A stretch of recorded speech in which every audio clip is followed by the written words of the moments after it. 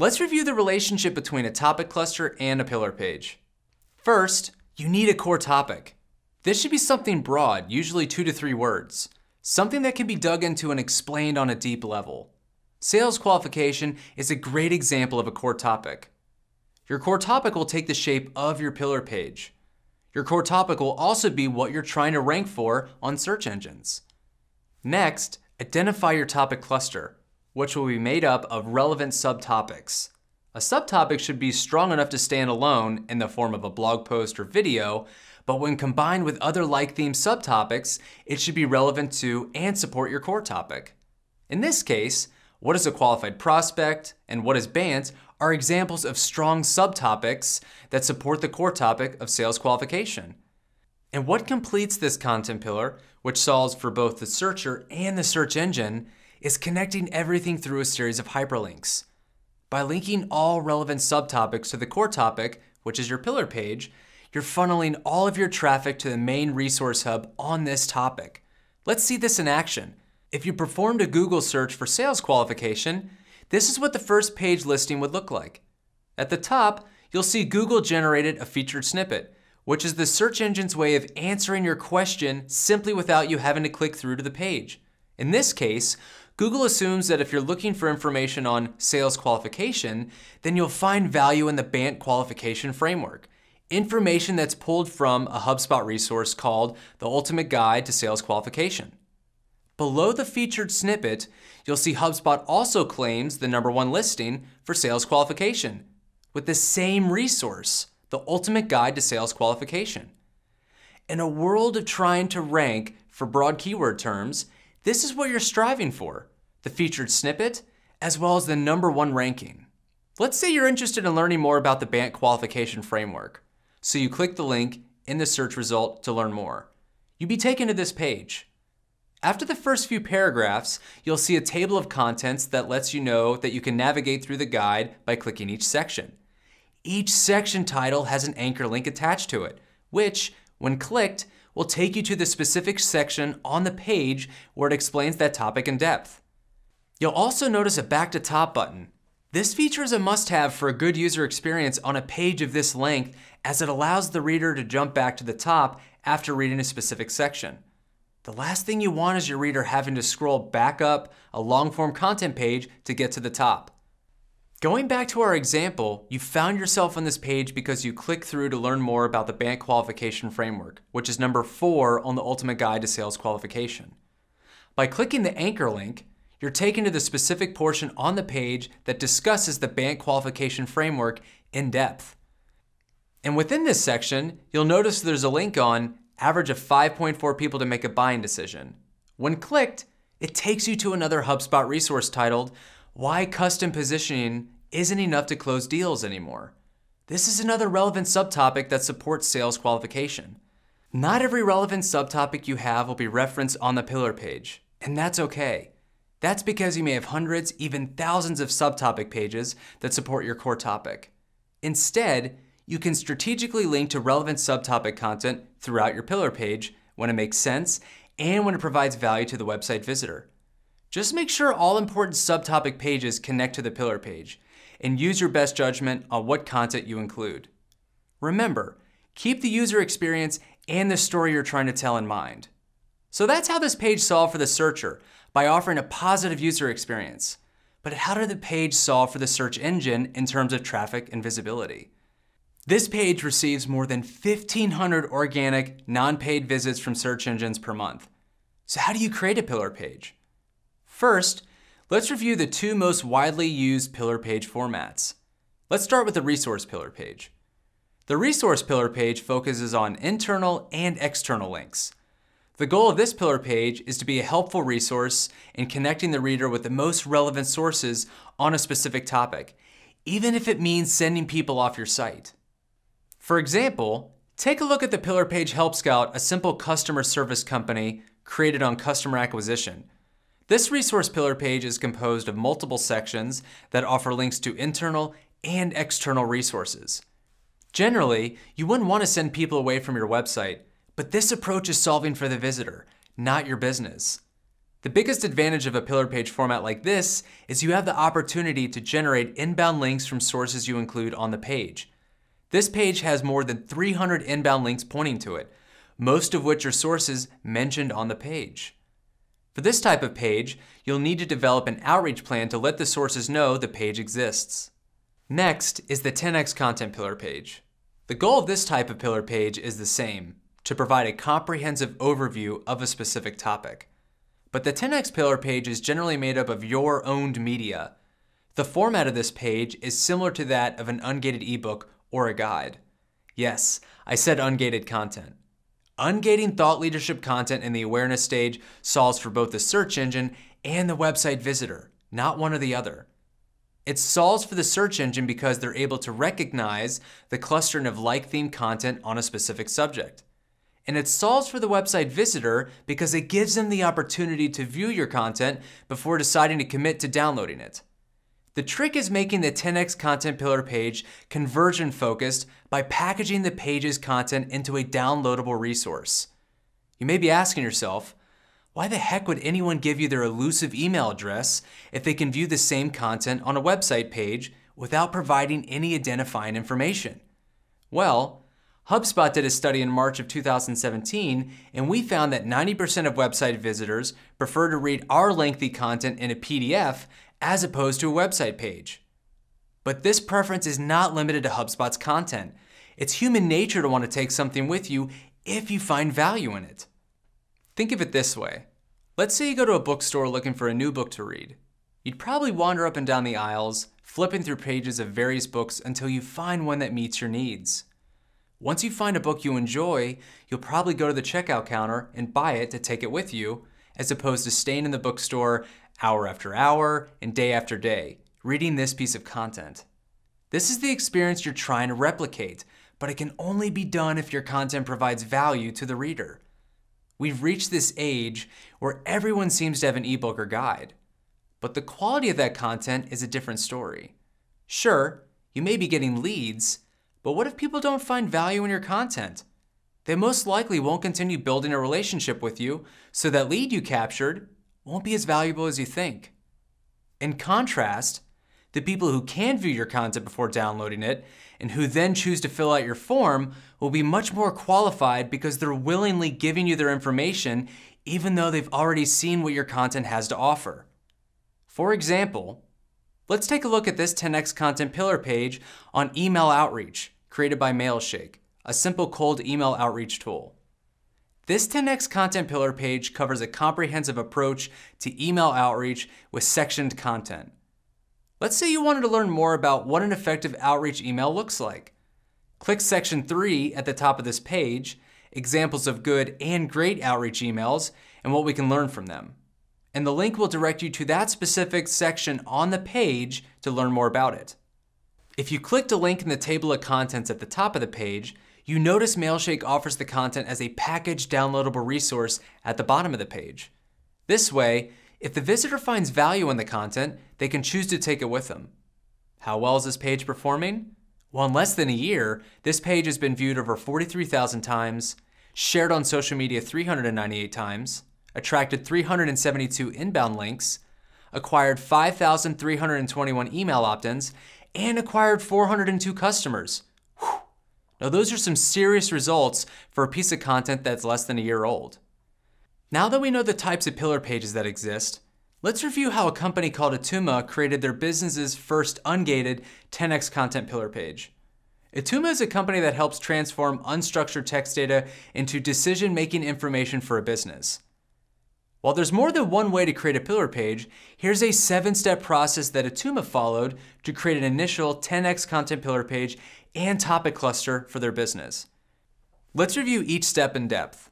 First, Atuma identified a core topic for their 10x content pillar page.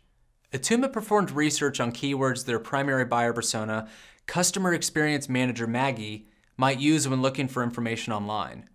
They identified the broad term text analysis and decided on it as the core topic because it's an awareness stage subject that Maggie would search for and it's connected to a product or service they offer. If you're gonna take the time to create content that educates your audience, make sure it connects to and supports at least one of your products or services. If it doesn't, ask why you're creating it in the first place. Second, Atuma identified their topic cluster. You may already have content created in support of your core topic. Instead of reinventing the wheel, identify current owned media that's relevant to your core topic. In this case, Atuma already had four pages of text analysis themed blog content and a series of YouTube videos.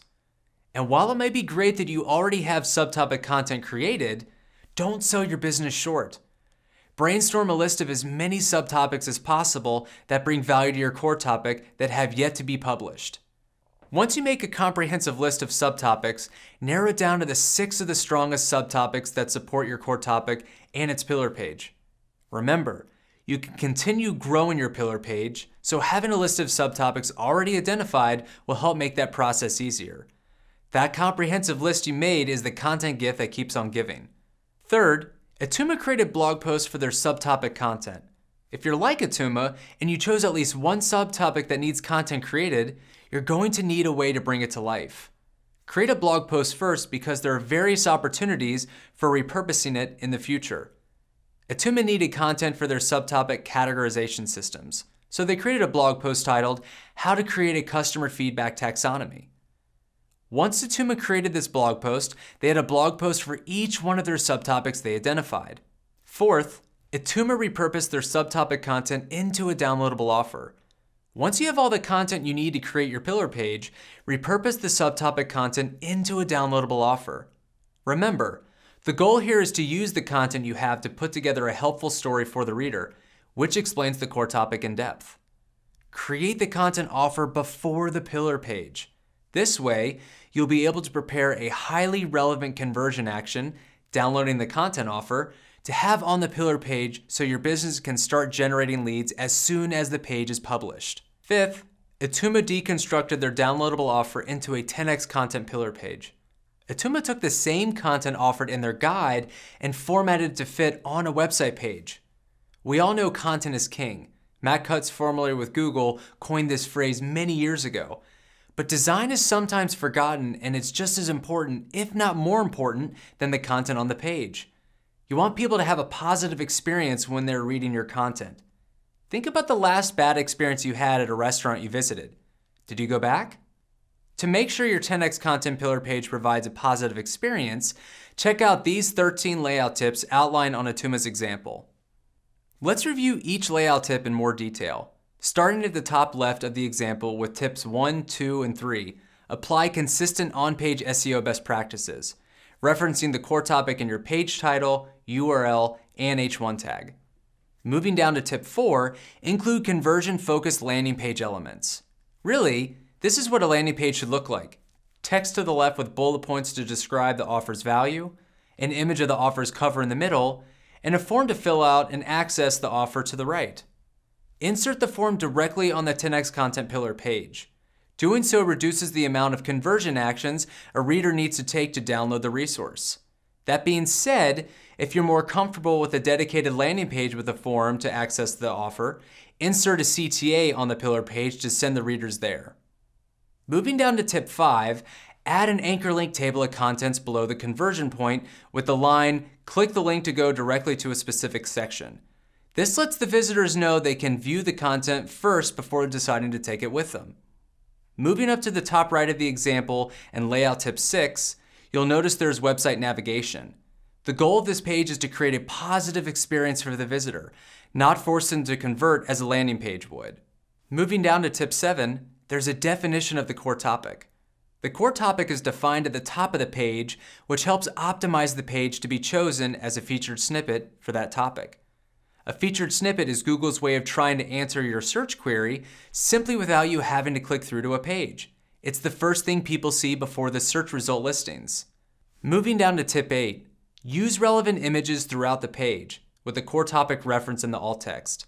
This helps optimize the images used on the page for image search results. Moving down to tip 9, use H2 tags for section headers. Don't even think about just increasing the text size and bolding it. Let's keep it simple consistent, and neat. Using proper HTML structure helps provide a clean user experience and makes it simpler to update the page. Moving down to tips 10 and 11, use relevant internal and external links to dig deeper into resources. Yes, I said external links as well. It helps to use external links to validate your claims. Just use them strategically, like to support a claim or data point that you want to reinforce. Moving down to tip 12. Reference your core topic throughout the page, but don't just repeat this same exact phrase. Search engines are smart enough to understand synonyms of your core topic phrase. And lastly, tip 13, have a back to top button. This way when people click a section they want to learn more about, they can easily jump back to the top. People probably won't read your entire page. They may find one section interesting enough and want to download it and take it with them. You want to make this process as easy as possible for the visitor. Forgetting this step would require the reader to endlessly scroll, or might feel like it, which could lead to frustration which could lead to them leaving your page and going elsewhere. Sixth, Atuma link the relevant owned media content to their 10x content pillar page. Once you complete your 10x content pillar page, you're going to need to hyperlink your subtopic content to it, creating your topic cluster. The goal here is to connect all owned media that's relevant to the core topic to the pillar page using a hyperlink. The more content associated with your topic cluster and pillar page, the better. And don't just add any old link text. Take the time to update the anchor text to something descriptive that supports the core topic. Atuma linked more than 20 relevant pieces of content to their 10x content pillar page. And you'll notice they took the time to create descriptive anchor text to let the searcher and search engine know where they're going. Seventh, Atuma created a conversion path for people to access their 10x content pillar page. The goal here is to let people know this content is available, because if you don't, you run the risk of a large portion of your website visitors never finding it. Forgetting this step would be similar to building a new addition on your house without a door. No matter how great that room is, no one will be able to get in, so what's the point? Another placement to consider is a dedicated section with a CTA near the top of the homepage with an image and descriptive supplemental text. This doesn't mean it always needs to stay here on this page. You can promote the pillar page for a limited time, possibly for two weeks or a month to support its publishing launch. And there you have it, seven steps to create an effective 10x content pillar page for your business. Atuma has been creating content consistently for years, but this seven step process helped them make more sense of how to create, grow, and connect effective content. But how well is it performing? After two months, their VP of Marketing and Sales said, We're receiving about four times the leads if you measure by quality compared to before the text analysis content pillar. And why do you think Atuma's quality of leads went up? Because their content provides so much value that interested visitors are willing to give up their information to take a package download with them. If you're looking for a place to start with creating topic clusters and pillar pages, consider deconstructing your existing awareness or consideration stage offers into 10x content pillar pages. I reverse engineered a DIY truck camper guide through a series of blog posts from my website, wildwewander.com. And in an effort to solve for the best experience for website visitors and search engine web crawlers, I deconstructed that guide's content into a conversion focused pillar page. The result? In four months, our non paid organic traffic coming from search engines increased 329%. Remember, if you have something valuable to say to your audience and the world, don't keep it locked up behind a form. Get it out there for all to see. Just make sure to package it in a way that makes it easy for people to take with them and enjoy elsewhere.